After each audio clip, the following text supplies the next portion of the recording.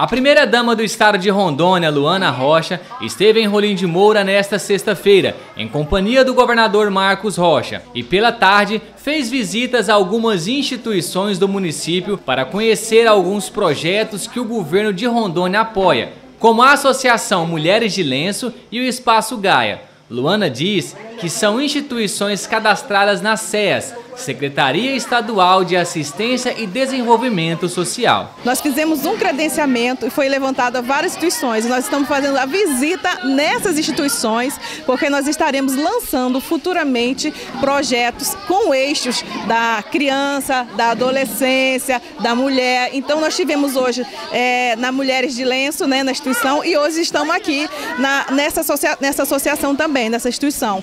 Porque é importante a gente fomentar o terceiro setor, né, que eles são nossos braços. E a gente precisa levar recurso para essas instituições. E a gente está vindo visitar porque elas estão credenciadas a nós e nós estamos aqui observando como é o funcionamento dessa instituição e o que, que a gente pode fazer junto para estar tá melhorando o atendimento das crianças, no caso aqui, dos idosos em outras instituições e para as mulheres também. A gente vai é, também estar lançando o cofinanciamento. O que, que é cofinanciamento? É um recurso que é feito, um repasse que é feito a, a todos os municípios. Isso aí é um marco histórico.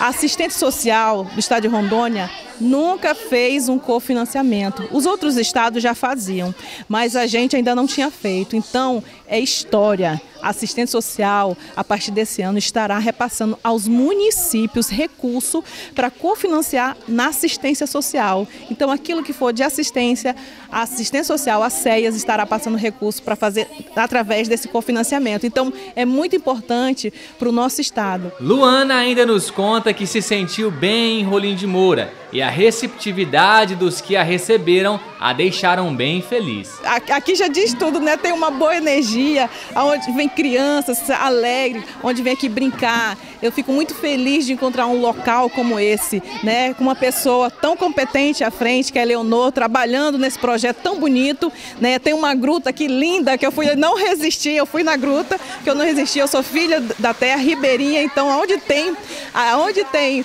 um rio, um lago, eu tô correndo atrás para poder botar os meus pés lá. Então fico muito feliz. Aqui é um lugar realmente bem receptivo, com boas energias. E a Leonice está de parabéns de estar à frente desse projeto, trazendo essas crianças maravilhosas, que ela diz que quase todo dia vem uma escola diferente aqui.